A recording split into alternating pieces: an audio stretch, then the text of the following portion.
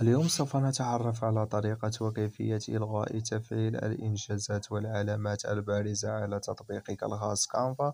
سوف نتعرف على طريقة وكيفية إلغاء تفعيل هذه الميزة من خلال اتباع مجموعة من الطرق سوف نقوم بها. سوف نأتي إلى الأعلى نضغط على هذه العلامة في الأعلى ثم سوف تظهر معك نافذة على هذا الشكل. هذه القائمة هنا. نأتي إلى الإعدادات نضغط عليها. ثم نأتي إلى النافذة الموالية هنا ل يعني هذه النافذة للإعدادات. نأتي إلى تفضيلات الرسائل نضغط عليها. ثم نقوم بنزول. نأتي إلى الإنجازات والعلامات البارزة. نضغط على هذه العلامة أو هذا اللون. وهنا تم إلغاء تفعيل الإنجازات والعلامات البارزة على تطبيقك الخاص كانفا.